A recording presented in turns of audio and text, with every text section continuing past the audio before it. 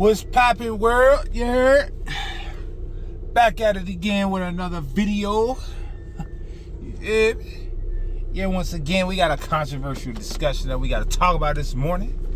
So without further ado, y'all ready to title? Let's get into it. The year is coming to an end. And if not already, people are talking about 2025 and what to expect out of this new year as we closing out this uh, near and dear third quarter going into the fourth quarter.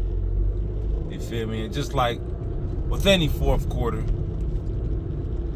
you gotta close out. You feel me? You gotta be clutch. You gotta win the game because winning this game sometimes has an influence on the next game. So let's get right into it, right? If the pivot of the Fed, right, has cut 50 basis points, then that would mean, right,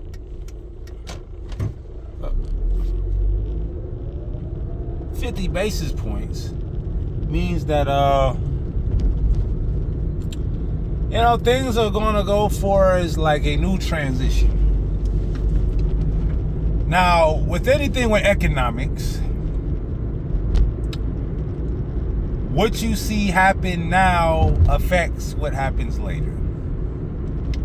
It's not like only only specific sectors of the, the economy is instantaneous results. But by and large, everything's a delayed effect. So if the stock market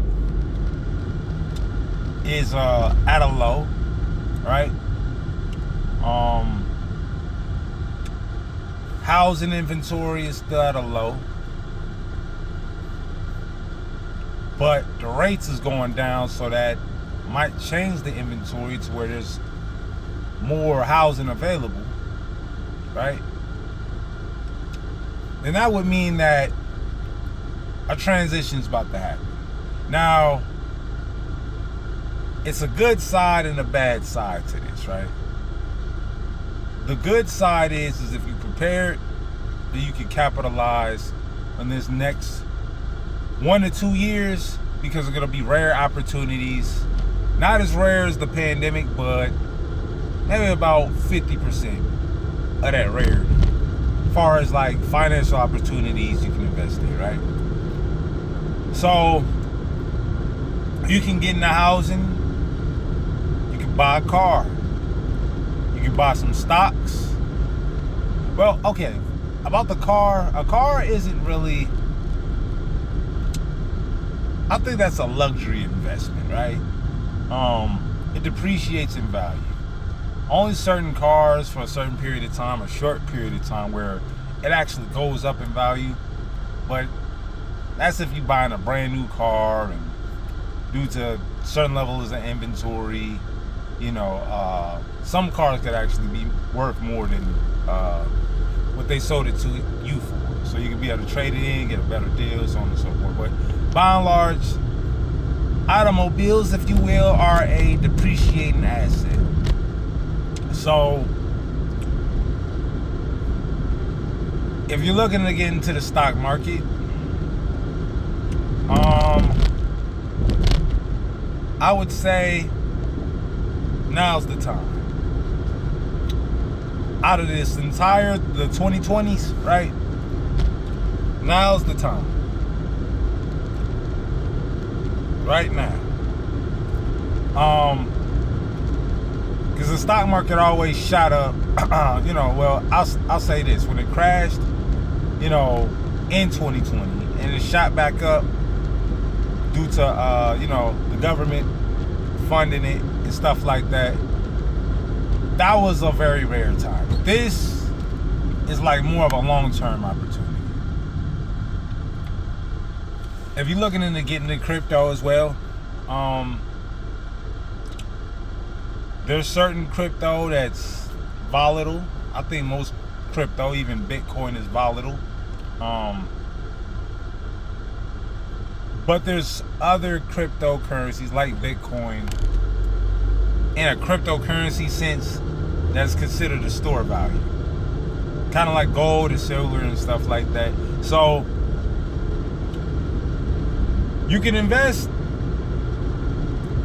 in the older, maybe like the first or second generation cryptocurrencies, like uh, Litecoin, Bitcoin Cash. Um, Ethereum is a new one. That's probably like a second or third generation uh, cryptocurrency, but it's looked at as a store value only due to the fact that uh, the uses that uh, Ethereum has. You feel me? Because when you're looking at like, uh, you know, like the blockchain and stuff like that,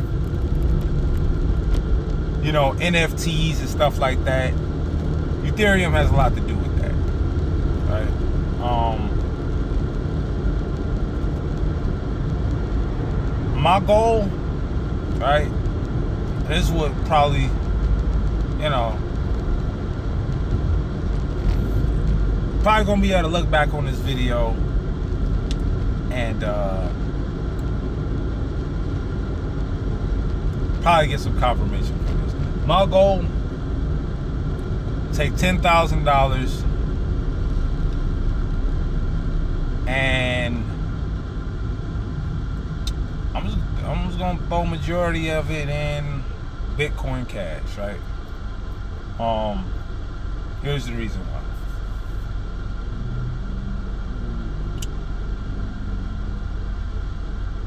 If you look at the historical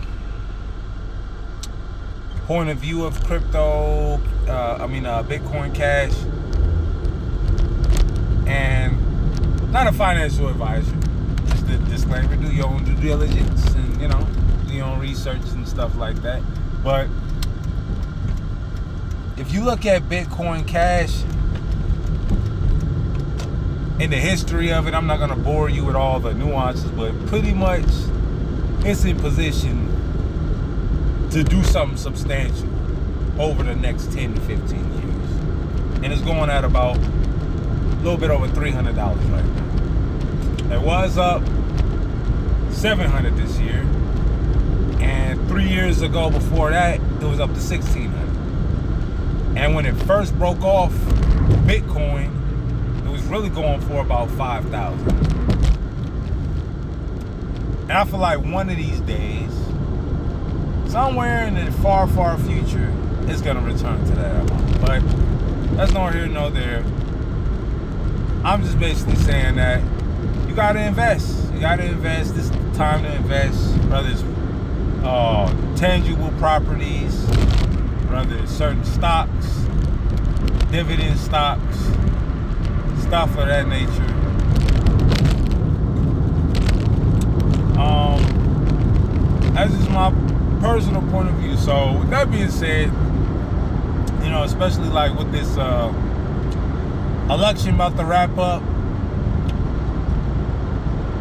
you know, uh, I just feel like, in my opinion, um,